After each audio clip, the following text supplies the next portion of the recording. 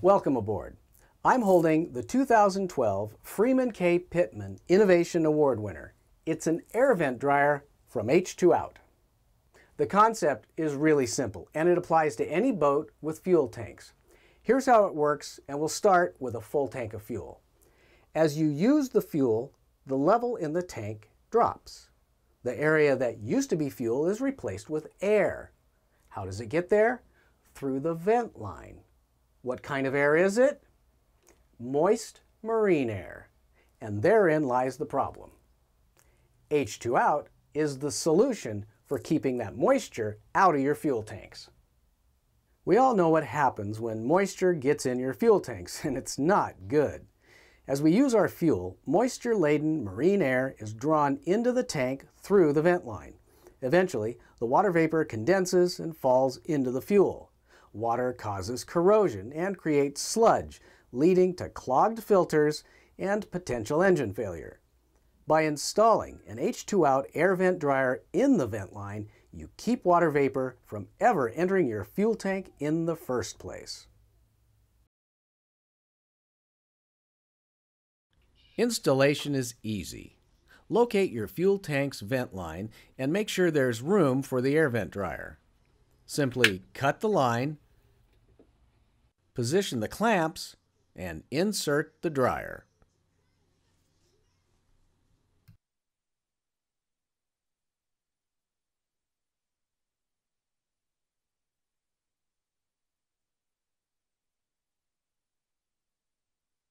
How it works is very simple.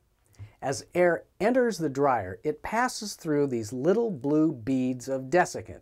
Now, this is the same desiccant you find in those little packages inside boxes of electronics, shoes, and stuff like that.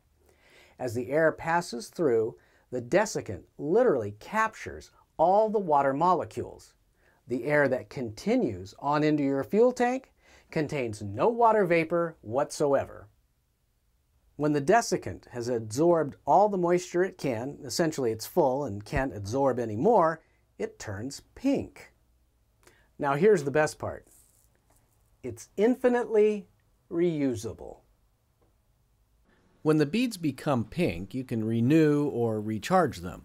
Simply remove the desiccant and place in a pan on a stove top.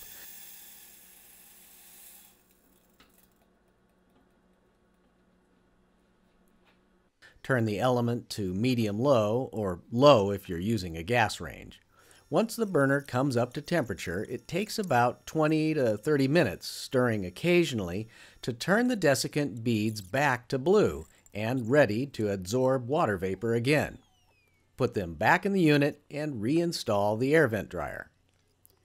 For those of you who might live hours or even hundreds of miles away from your boat, replacement packs are available so you can protect your fuel tanks at all times even while you're recharging the pink beads at home. How effective is this protection for your fuel tanks?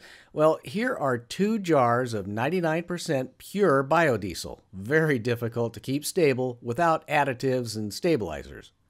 The fuel on the left was professionally stored in a commercial underground fuel tank. The fuel on the right was stored in a nearly empty 55 gallon drum and kept outside in rainy Washington state. Its only protection was an H2 out air vent dryer. You're looking at the results of both after two years of storage. Now imagine what the fuel in your boat looks like. The air vent dryer by H2 Out. It's a simple concept that's simple to install that simply works. Now you see why it won the 2012 Pittman Innovation Award.